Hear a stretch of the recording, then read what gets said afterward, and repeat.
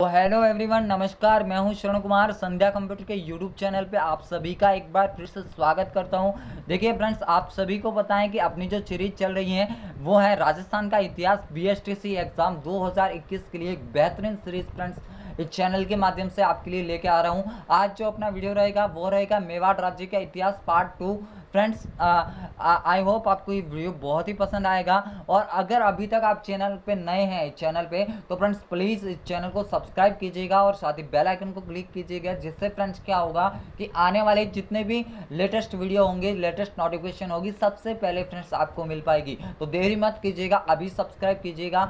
अभी के लिए फ्रेंड्स इस वीडियो पर ध्यान दीजिएगा कि जो मेवाड़ राज्य का इतिहास है फ्रेंड्स अपन ने पहले बाग के अंदर मेवाड़ राज्य की जो उत्पत्ति है, कौन किस से क्या मानता है भंडारकर क्या मानता है ओझा क्या मानता है, कर्नल जेम्स टोड क्या मानता है?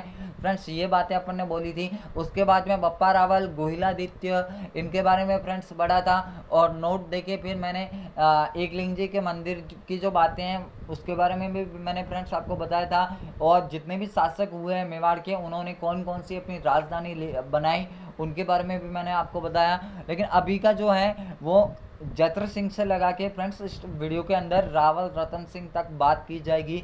यानी कि इस वीडियो के अंदर जो आपकी रावल शाखा है, एक प्रकार से अपन उसको पूरी तरह से कंप्लीट कर देंगे। फ्रेंड्स, वही बातें आपके लिए लेके आया हूँ, जो एग्ज़ाम में इंपॉर्टेंट है, और जिसको मैं बोलूँ इंपॉर्टेंट फ्रेंड्स, एक बार नोट डाउन कर देना, ताकि मेरे ख्याल से इस टॉपिक से रिलेटेड आपका एग्ज़ाम में एक भी क्वेश्चन गलत नहीं होगा। देखिएगा कि यहाँ पे जो लिखा है जत्र सिंह फ्रेंड्स हालाँकि मैंने नेक्स्ट वीडियो जो लास्ट वीडियो में लेके आया था, उसमें मैंने बता दिया था कि भाई जो जत्र सिंह है, इनके समय में क्या हुआ था फ्रेंड्स इल्तुतमिश का आक्रमण हुआ था और मेवाड़ की जो राजधानी थी, उस टाइम में नागदा और नागदा को फिर आक्रमण करके क्षति पहुंचाई और इन्होंने फिर अपनी राजधानी किसको बनाई? चित्तौड़ को बनाई। तो इनके बारे में तो फ्रेंड्स केवल आपको यही बातें याद रखनी है कि भाई जत्र सिंह के समय फिर राजधानी कहाँ आ गई थी? चित्तौड़ आ गई थी और इनके समय में आक्रमण किसका हुआ था? इल्तुतमिश का आक्रमण हुआ था। अब फ्रेंड्स जो अपन को पढ़ना है, वो पढ़ना है रावल रतन सिंह को। यानी कि काफ़ी चर्चा में फ्रेंड्स ये टॉपिक रहता है। यहाँ से एग्ज़ाम में भी बहुत सारे क्वेश्चन आपको देखने को मिलते हैं। देखिएगा, इनके अगर मैं शासनकाल की बात करूँ तो तेरह सौ दो से लगा के तेरह सौ तीन तक इनका शासनकाल है। फ्रेंड्स देखिएगा कि रतन सिंह समर सिंह का पुत्र था, मेवाड़ के गोहिल वंश की रावल शाखा का ये क्या है? फ्रेंड्स अंतिम शासक है और उल्लेखनीय है कि राज प्रशस्ति में रतन सिंह का नाम नहीं मिलता है। फ्रेंड्स देखिएगा, बहुत ही इतिहास है फ्रेंड्स, हालाँकि अपन इतना इसमें नहीं सोच सकते, बाकी जो फैक्ट है उनको फ्रेंड्स बताना ही पड़ता है। कि यहाँ पे देखिएगा कि जो रतन सिंह है, वो समर सिंह का पुत्र था गोयल वंश की रावत शाखा का अंतिम शासक था। फ्रेंड्स, बाकी देखिएगा कि जो राज प्रशस्ति है, वहाँ पे फ्रेंड्स, रतन सिंह के राज प्रशस्त महाकाव्य में रतन सिंह का नाम नहीं मिलता। तो हालाँकि ये बातें आपको याद रखनी पड़ेगी, बाकी एग्ज़ाम की दृष्टि से आपको याद रखना है कि भाई, रतन सिंह मेवाड़ के रावल शाखा के अंतिम शासक थे। उसके बाद में फ्रेंड्स, देखिएगा, मलिक मोहम्मद जायसी द्वारा रचित पद्मावत के अनुसार। अब देखिएगा, यहाँ से एग्ज़ाम में ये क्वेश्चन बनता है कि पद्मावत ग्रंथ किसने लिखा? तो उस टाइम में आप क्या बोलोगे? मलिक मोहम्मद जायसी ने फ्रेंड्स क्या लिखा? पद्मावत ग्रंथ की रचना की और उनके अनुसार, यानी कि पद्मावत के अनुसार जो सुल्तान अलाउद्दीन खिलजी ने रतन सिंह की अति सुंदर पत्नी पदमनी को प्राप्त करने के लिए चित्तौड़ पर आक्रमण किया था। तो फ्रेंड्स, ये ऐसा कहाँ पे उल्लेख मिलता है? मलिक मोहम्मद जायसी की पद्मावत के अंदर ये उल्लेख मिलता है कि भाई, अलाउद्दीन खिलजी ने जो चित्तौड़ पे आक्रमण किया था, उसका रीजन क्या था? रतन सिंह की पत्नी पद्मावती का सुंदर रूप था। तो ये आपको पद्मावत के अनुसार याद रखना है। बाकी देखिएगा फ्रेंड्स अलाउद्दीन खिलजी ने 28 जनवरी 1303 ईस्वी को दिल्ली से चल के चित्तौड़ पर घेरा डाला था। यानी कि देखिएगा, हालाँकि आपको ये डेट याद रखो तो अच्छी बात है, वरना 1303 तो आपको याद रखना ही पड़ेगा कि अलाउद्दीन खिलजी ने कब घेरा डाला 1303 के अंदर। और अमीर खुसरो भी इस अभियान में उनके साथ थे। यानी कि अगर आपसे क्वेश्चन पूछा जाता है कि जब अलाउद्दीन खिलजी ने मेवाड़ पे अपना घेरा डाला तो उसके साथ कौन सा इतिहासकार था? तो फिर आप क्या बोलोगे?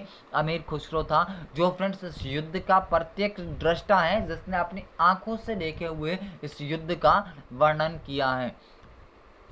उसके बाद में प्रश्न देखिएगा नेक्स्ट जो पॉइंट है कि पच्चीस अगस्त 1303 को दुर्ग पर सुल्तान का अधिकार हो गया, यानी अलाउद्दीन खिलजी का एक प्रकार से इस दुर्ग पे अधिकार हो गया था। प्रश्न देखिएगा कि रावल रतन सिंह प्रसिद्ध सेना नायकों, गोरा और बादल सहित वीर गति को प्राप्त हुआ और रानी पदमनी के नेतृत्व में स्त्रियों ने क्या किया? जोहर किया और ये क्या था? चित्तौड़ का पहला शाखा था। हालाँकि फ्रेंड्स आप सभी लोगों ने पद्मावत मूवी देखी होगी। उसमें आप सभी को अच्छे से पता है कि फ्रेंड्स क्या होता है कैसे आक्रमण होता है। हालाँकि देखिएगा ये वीडियो आ, आपको केवल जो आपके एग्ज़ाम में इम्पोर्टेंट बातें हो सकती है फ्रेंड्स उन्हीं को आपको अच्छे से पढ़ना है। बाकी आप लोगों को यहाँ से केवल क्वेश्चन पूछा जाएगा। भाई जो शाखा है, कब हुआ? 1303 के अंदर हुआ। ये मेवाड़ का प्रथम शाखा था। केसरिया किसने किया? रावल रतन सिंह ने किया। और एक प्रकार से आप बोल सकते हो, गोरा और बादल इस युद्ध में क्या हुए थे? शहीद हुए थे, वीरगति को प्राप्त हुए थे। और रानी पदमनी ने फ्रेंड्स क्या किया था? स्त्रियों के साथ जोहर किया था।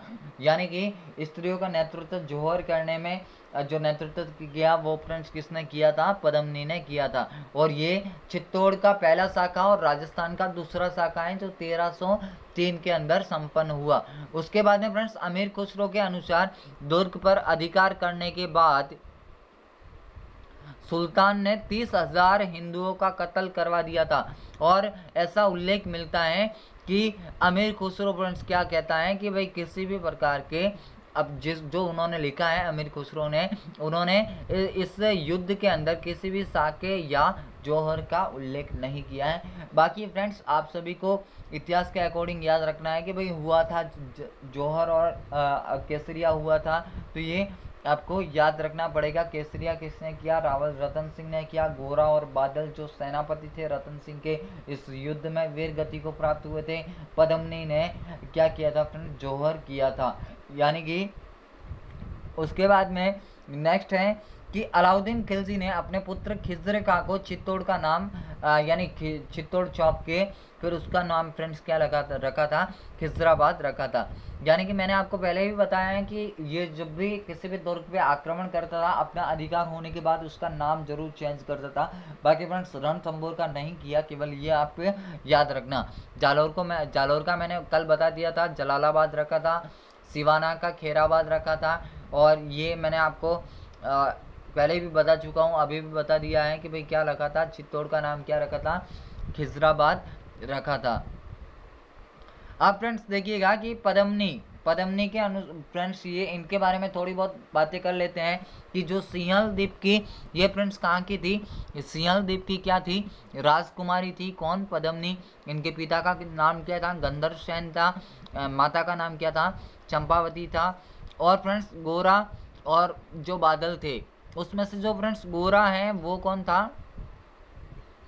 पदमनी का चाचा था, जबकि जो बादल हैं, वो क्या था? पदमनी का भाई था। अब देखिएगा फ्रेंड्स, एक बार एग्ज़ाम में ये भी क्वेश्चन आया आया है कि भाई गोरा और बादल का कर्मश कर्मश बोल रहा हूँ, यानी कि जो कर्मश पदमनी से क्या रिश्ता था? तो फ्रेंड्स, ऐसा कभी कभार कंफ्यूज हो जाते हैं कि भाई गोरा भाई था या बादल भाई था या गोरा चाचा था या बादल चाचा था। तो फ्रेंड्स ये आपको याद रखना है कि भाई जो बादल हैं, बादल क्या है? पदमनी का क्या है? भाई है, जबकि जो गोरा है, वो फ्रेंड्स क्या है? साचा है। यानी कि पहले क्या अपन बोलते हैं? गोरा बादल ही तो बोलते हैं। तो जो पहले बोलते हैं, वो फ्रेंड्स क्या है? साचा है, जबकि जो बाद में अपन बोलते हैं, वो क्या है? बाई है। यानी बड़ों का नाम अपन पहले ही लेते हैं, आप सभी को पता है तो वैसे आप याद रख सकते हो उसको। उसके बाद में फ्रेंड्स क्या है कि पदमनी के पास में क्या है? हीरामन तोता था। फ्रेंड्स देखिएगा, एक कहानी आपको पता रखनी है कि भाई, हालाँकि इतिहास है तो इसके कहानी के माध्यम से पढ़ना बहुत ही ज़रूरी है। देखिए, पदमनी के पास हीरामन तोता था। फ्रेंड्स एक दिन उड़ते उड़ते फिर इधर आया मेवाड़ के अंदर। और जो हीरामन तोता है उसने रावल रतन सिंह को फिर पद्मनी की सुंदरता का वर्णन किया जिससे फ्रेंड्स रावल रतन सिंह वहाँ पे गए फिर इनका आ, एक प्रकार से मोहब्बत हो गई और शादी वगैरह हो गई। तो ये फ्रेंड्स ये तो है हीरामन तोता इनके बारे में। उसके बाद में फ्रेंड्स आपको ये भी याद रखना है कि भाई जो आ, रावल रतन सिंह के दरबार में उस टाइम में एक था राघव चेतन। राघव चेतन। ये फ्रेंड्स इसको उस टाइम में फिर क्या किया गया था? एक प्रकार से उस टाइम में देश से निकाला दिया गया था। यानी कि इसको मेवाड़ राज्य से निकाला गया था और इसने फिर क्या किया कि आ, ये अलाउद्दीन खिलजी के चरण में गया और वहाँ पे फ्रेंड्स इन्होंने क्या किया कि पदमनी की सुंदरता का वर्णन किया उनके सामने। तो अलाउद्दीन खिलजी ने भाई मन में ठान लिया कि भाई अगर ऐसा ही सुंदर रूप है तो एक बार तो हम भी देख के आएँगे ऐसा अलाउद्दीन खिलजी ने बोला था। बट फ्रेंड्स के ये आपको याद रखना है कि हालाँकि किसी भी आ, का भी ऐसा कभी मोटिव नहीं हो सकता। हालाँकि देखिएगा कि रीज़न कुछ और हो सकता है। किसी भी युद्ध को करने के पीछे देखिएगा, जितने भी राजा हैं, उन सभी का रीजन क्या है कि सबसे पहले वो क्या करेगा, अपने साम्राज्य की क्या करेगा, विस्तार करेगा। सबसे पहली बात तो फ्रेंड्स हमेशा यही होती है कि अपने साम्राज्य का विस्तार करेगा। उसके बाद में फ्रेंड्स मेवाड़ उस टाइम में सबसे प्रभावी था, शक्तिशाली था।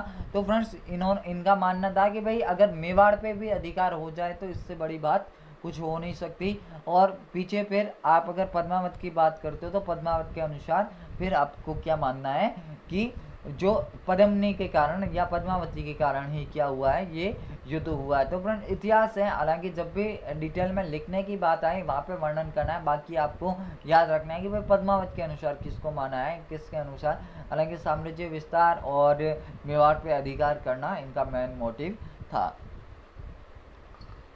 उसके बाद में फ्रेंड्स देखिएगा ये जो पद्मावत ग्रंथ लिखा है, किसने लिखा है? मलिक मोहम्मद जायसी ने। यहाँ पे मैं लिख देता हूँ, मलिक मोहम्मद जायसी।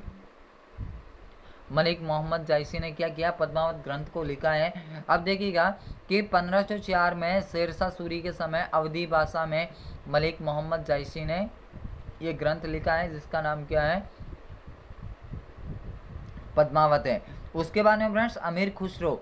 यानी कि मैंने पहले भी बोला है कि ये क्या है, इस युद्ध का क्या है, प्रत्यक्ष दृष्टा है, जिसने अपने आँखों से देखे हुए इस युद्ध का वर्णन किया है। फ्रेंड्स, इनके जो गुरु हैं, वो कहने निज़ामुद्दीन ओलिया है, मूल नाम इनका क्या है, मोहम्मद हसन है, और जो खुसरो हैं, फ्रेंड्स कवाली देखिएगा, जो अमीर खुसरो हैं उनके मैं गुरु की बात कर रहा हूँ कि भाई इनके गुरु कौन है? निज़ामुद्दीन ओलिया है, मूल नाम क्या है? मोहम्मद हसन है। और फ्रेंड्स इनको कवाली सितार और मुर्कियों, यानी कि पहलियों का क्या माना जाता है? इनको जनक माना जाता है। उसके बाद में फ्रेंड्स क्या है कि ये फैक्ट मैं आपको आगे बता चुका हूँ कि भाई जो अलाउद्दीन खिलजी ने चित्तौड़ अपने पुत्र को सौंपा था और इसका नाम फिर क्या रखा था? खिजराबाद रखा था। तो यहाँ से ये क्वेश्चन आपको याद रखना बहुत ज़रूरी है। उसके बाद में फ्रेंड्स तेरह सौ तेरह ईस्वी में सोनोग्रा चौहान मालदेव को चित्तौड़ का प्रशासक नियुक्त किया गया और मालदेव जो सोनोग्रा है, क्या कहलाए फ्रेंड्स? मुशाला मालदेव के नाम से प्रसिद्ध हैं। तो आपको एग्ज़ाम में ये भी क्वेश्चन आ सकता है कोई मुशाला महादेव मालदेव के नाम से कौन प्रसिद्ध है? तो फिर सोनगरा चौहान मालदेव जो है, वो किसके नाम से जाने गए? मुशाला मालदेव के नाम से जाने गए। फ्रेंड्स, देखिएगा, एक बार इस वीडियो को और ओवरव्यू कर देते हैं। अपन ने पढ़ा कि भाई जैत्र सिंह थे। अब जैत्र सिंह के समय राजधानी चित्तौड़ थी। क्यों हुई? क्योंकि इल्तुतमिश का उस टाइम में आक्रमण हुआ था, नागडा को नष्ट कर दिया था। उसके बाद में रतन सिंह के बारे में पढ़ा कि रतन सिंह क्या है? गोहिल शाखा के अंतिम शासक थे और फ्रेंड्स ये समर सिंह के पुत्र थे। उसके बाद में मलिक मोहम्मद जायसी द्वारा रचित पद्मावत के अनुसार, यानी कि देखिएगा ये जो पद्मावत ग्रंथ है, किसने लिखा? मलिक मोहम्मद जायसी ने लिखा और इसके अंदर क्या बताया कि भाई जो युद्ध का प्रमुख कारण है, वो क्या है? पदमनी की सुंदरता और फ्रेंड्स सुंदरता किसने बताई थी? अलाउद्दीन खिलजी को राघव चेतन ने बताई थी। और ये भी आपको याद रखना है कि भाई इस युद्ध में क्या हुआ कि युद्ध जब करना आया, कब करना आया? 1303 में घेराबंदी हुई और अमीर खुसरो इस युद्ध में अलाउद्दीन खिलजी के साथ था, यानी कौन सा इतिहासकार था तो? अमीर खुसरो इस युद्ध का प्रत्यक्ष दृष्टा कौन है? तो अमीर खुसरो है। उसके बारे में फ्रेंड 25 अगस्त 1303 के अंदर क्या हुआ कि युद्ध हुआ, एक भयंकर युद्ध हुआ फ्रेंड जिसके अंदर रतन सिंह, गोरा बादल, फ्रेंड्स, ये केसरिया ये केसरिया इन्होंने किया, यानी वीर गति को शहीद हो गए और फ्रेंड्स वीर गति को प्राप्त हो गए, जबकि महिलाओं का जो नेतृत्व है, वो पद्मावती ने किया और फ्रेंड्स, पद्मनी ने किया, जो कि अपने एक प्रकार से अग्नि में इनको इन्होंने अपने प्राणों की आहुति दी, एक प्रकार से जोहर किया। तो ये है, फ्रेंड्स कि भाई जो ये चित्तौड़ का तो पहला शाखा है जो 1303 के अंदर हुआ बट फ्रेंड्स अगर राजस्थान की बात करें तो ये दूसरा शाखा है जो कि रणतंबोर के बाद में है। यानी रणतंबोर वाला फ्रेंड्स 1301 में हुआ है, ये 1303 के अंदर हुआ है। उसके बाद में फ्रेंड्स अमीर खुसरो के अनुसार फिर इस युद्ध को जीतने के बाद तेरह हज़ार सॉरी तीस हज़ार हिंदुओं का इन्होंने कत्ल करवाया, किसने? अलाउद्दीन खिलजी ने और ये जो चित्तौड़ को जीतने के बाद अपने पुत्र खिजर का सौंपा और इसका नाम फिर क्या रखा? खिजराबाद रखा। और पदमने की अगर बात करें तो ये सियाल द्वीप की राजकुमारी थी। पिता इन, पिता का नाम गंधर सैन था, माता चंपावती थी और गोरा इनका क्या था? फ्रेंड चाचा था, जबकि जो बादल थे, इनके भाई थे। और पदमनी के पास में कौन सा तोता था? हिरामन तोता था। उसके बाद में अगर अपन पद्मावत की बात करते हैं तो पद्मावत किसने लिखा, मलिक मोहम्मद जायसी ने लिखा, मैंने आपको बता दिया है। अमीर खुसरो की बात करें तो अमीर खुसरो इस युद्ध के प्रत्यक्ष दृष्टा थे। इनके गुरु का नाम निज़ामुद्दीन ओलिया था। इनका जो मूल नाम है, मोहम्मद हसन था। और खुसरो को कवाली सितार मुर्गियों का क्या बोला जाता है? जनक बोला जाता है। और यहाँ पे वापस लिखा है कि भाई खिजर काको सौंप के क्या नाम रखा? खिजराबाद रखा। और 1313 ईस्वी में फिर क्या हुआ कि सोनोग्रह चौहान मालदेव को चित्तौड़ का प्रशासक नियुक्त किया गया और सोनग्रह, जो मालदेव सोनग्रह किस नाम से आगे प्रसिद्ध हुए? मुसाला। मालदेव के नाम से प्रसिद्ध हुए। तो आई होप फ्रेंड्स, ये वीडियो आपको बहुत ही पसंद आया होगा आया होगा। अगर इस वीडियो को पसंद किया है तो इस वीडियो को ज़्यादा से ज़्यादा लाइक कीजिएगा शेयर शेयर कीजिएगा और फ्रेंड इस चैनल को अभी सब्सक्राइब कीजिएगा ताकि क्या होगा कि जितने भी लेटेस्ट नोटिफिकेशन होगी, सबसे पहले फ्रेंड्स आप तक पहुँचेगी। तो फ्रेंड्स, आज के लिए इतना ही। आई होप आपको ये वीडियो बहुत ही पसंद आया होगा। आज के लिए इतना ही। मिलेंगे कल एक नए वीडियो के साथ। तब तक के लिए जय हिंद, वंदे मातरम, जय भारत और फ्रेंड्स वीडियो को ज़्यादा से ज़्यादा शेयर करना भूलिएगा। क्योंकि जितने भी स्टूडेंट के पास में जाएगा फ्रेंड्स आपको अच्छी रैंक इस बार लानी है, आपको अच्छी परसेंटेज के साथ में कॉलेज सेलेक्ट करना है, ताकि आपका पहली बार में ही सिलेक्शन हो जाए। और फ्रेंड्स सिलेक्शन अगर होता भी है, अगर अच्छी रैंक के साथ होता है तो मेरी मानो बहुत अलग एक खुशी मिलती है। इसीलिए आपको अपनी पढ़ाई को कंटिन्यू करना है। फ्रेंड्स देखिएगा समय ऐसा है, अभी कोरोना काल है, आप अपने घरों से बाहर नहीं आ सकते। बाकी फ्रेंड्स देखिएगा कि हम आपके लिए जब मेहनत कर रहे हैं तो आप केवल दिन का दो वीडियोस आप देख लेते हो, अलग से अपनी बुक में जाके उसको थोड़ा बहुत पढ़ लेते हो। तो मेरे ख्याल से एग्ज़ाम टाइम में केवल आपको रिवीजन की ज़रूरत होगी। जब दूसरे लोग स्टार्टिंग से पढ़ेंगे, तब आप रिवीजन करोगे। तो समझ लो कि आप उनसे बहुत आगे होंगे। तो फ्रेंड्स इतना ही। मिलेंगे कल एक नए वीडियो के साथ। तब के लिए जय हिंद, वंदे मातरम, जय भारत।